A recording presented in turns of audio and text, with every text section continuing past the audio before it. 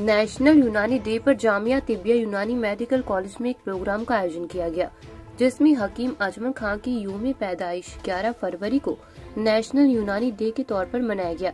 इस दौरान मीडिया से वार्ता करते हुए डॉक्टर एहतेशाम ने बताया कि यह प्रोग्राम यूनानी डे के नाम से मंसूब है। पहले भी यह प्रोग्राम होते रहते थे, लेकिन हमारी उत्तर प्रदेश सरकार और केंद्र सरकार ने यूनानी तरक्की के साथ साथ यह बहुत अहम कदम उठाया। हकीम अजमल खां की यूम पैदाइश को सरकारी तौर पर यूनाइटेड डिक्लेयर कर दिया गया। रिपोर्ट अंकित जैन। उस प्रोग्राम को मनाने के लिए पहले मैं उस शख्सियत को याद करना चाहूँगा और उनको दुआ भेजना चाहूँगा जिनकी बदौलत ये पॉसिबल हो सका कि हम लोग इकट्ठे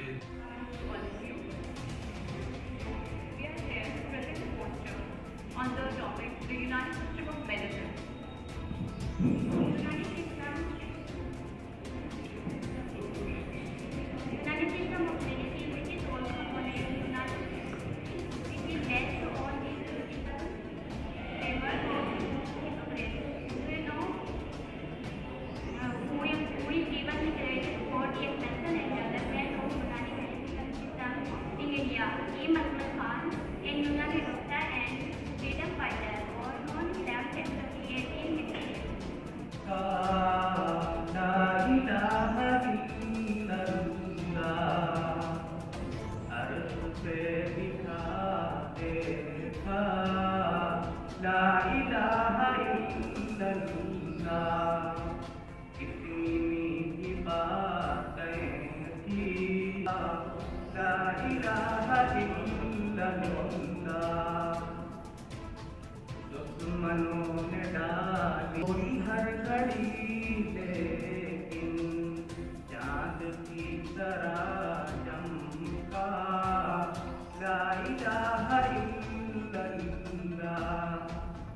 चाहे दम निकल जाए।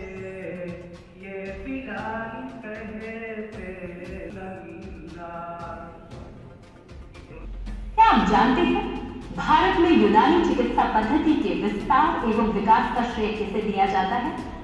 11 फरवरी, सन 1868 में जन्मे एक यूनानी चिकित्सक एवं स्वतंत्रता सेनानी हकीम अजमल खान को जिनका जन्म एक ऐसे परिवार में हुआ जहाँ परिवार के कई सदस्य मशहूर की आज़ादी राष्ट्रीय एकता और सांप्रदायिक सद्भाव के क्षेत्रों में हकीम अजमल खान का योगदान अतुलनीय है।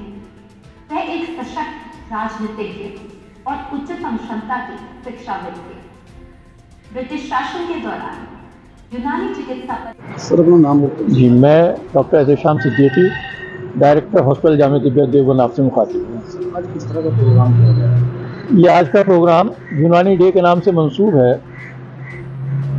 पहले भी ये प्रोग्राम होते रहते थे, लेकिन हालिया जो हमारी मरकज़ी गवर्नमेंट है और हमारी सूबाई गवर्नमेंट है, इस रिजिम में आने के बाद इन्होंने यूनानी की तरवीज तरक्की के साथ साथ ये बहुत अहम कदम उठाया कि मशहूर मुल्क हकीम अजमल खां के योम पैदाइश को सरकारी तौर पर यूनानी डे डिक्लेयर कर दिया गया। और ये लाजिम कर दिया गया कि जितने भी तिब्बी इदारे हैं तिब्बी तालीम के इदारे हैं उनके अंदर 11 फरवरी जो कि योम पैदाइश है मशहूर मुल्क हकीम अजमल खां साहब का उसको यूनानी डे के तौर पर उसकी तकरीब मनाई जाए उसमें तमाम लोग शिरकत करें। किस तरह की बीमारियों के इलाज करें। जामिया देवबंद के अंदर सौ बेड का हॉस्पिटल है जिसके अंदर तकरीबन तमाम जो आम तौर से मुरवजा बीमारियाँ हैं उनका इलाज होता है। मुआलजात के अंदर फेफड़े की बीमारियाँ, जिगर की बीमारियाँ, सांस की बीमारियाँ या दीगर मेदे की बीमारियाँ अमराज अमा आंतों की बीमारियाँ, दिमागी बीमारियाँ, इन सब का इलाज होता है। सर्जरी के अंदर ऑपरेशंस की पूरी फैसिलिटीज़ यहाँ मौजूद है। पूरा एक फुल फर्निश्ड ऑपरेशन थिएटर मौजूद है। उसके पंद्रह बेड मौजूद हैं। उसके साथ साथ जो एक ख़ास गायनेकोलॉजी अतफाल पीडिया, उसका भी, उसके मरीजों का भी इलाज होता है।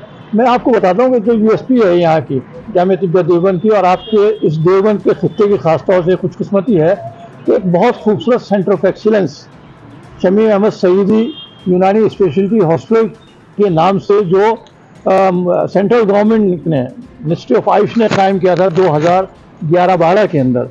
वो आज अपनी पूरी रफ्तार के साथ रमा दवा है और आर्थराइटिस जॉइंट से मुतल जितने अमराज हैं, जितनी बीमारियाँ हैं, उनका बहुत शाफी और तसली बख्श इलाज इस सेंटर के अंदर किया जा रहा है।